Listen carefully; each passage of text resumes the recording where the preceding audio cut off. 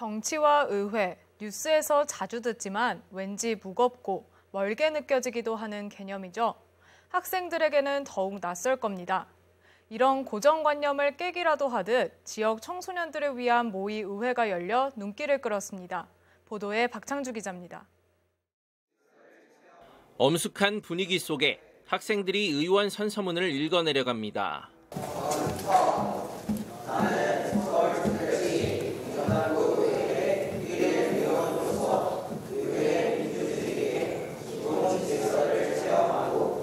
의장이 자리에 올라 개회를 선언합니다. 성원이 되었으므로 제1회 동작중학교 청소년 모의의회 제1차 본회의를 개의하겠습니다. 상정된 안건은 두 가지.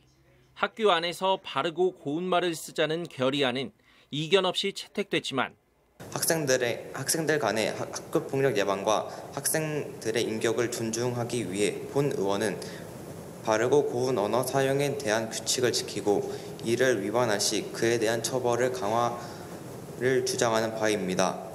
수업과 쉬는 시간, 스마트폰 사용을 허용할지에 대해서는 뜨거운 논쟁이 이어집니다. 학생의 자율권 보장과 학습 도구로서의 기능이 우선인지, 건강과 원만한 교우 관계 형성이 먼저인지가 핵심 쟁점으로 떠오릅니다. 스마트폰의 과도한 사용은 다양한 부작용을 초래합니다.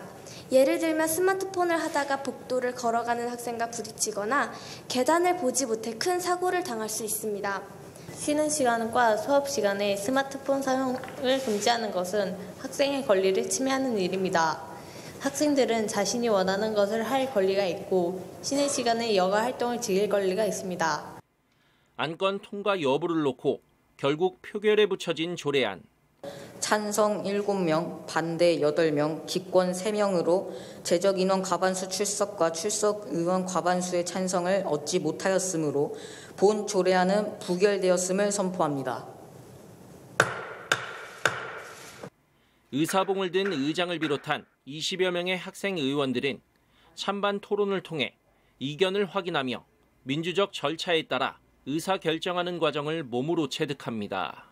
다른 점을 서로 어떻게 조율을 해 나갈지를 의논하면서 결정하는 것이 바로 의회고 그 결정할 때는 더 많은 사람한테 더 많은 이익이 갈 수 있는 것 이런 것들을 만들어내는 게 바로 의회의 일입니다. 프로 정치인들의 무대인 동작구 의회 본회의장에서 열린 청소년 모의의회. 높게만 느껴졌던 의회 문턱을 넘어 학생들이 정치를 몸으로 익히는 현장 배움터가 됐습니다. HCN 뉴스 박창주입니다.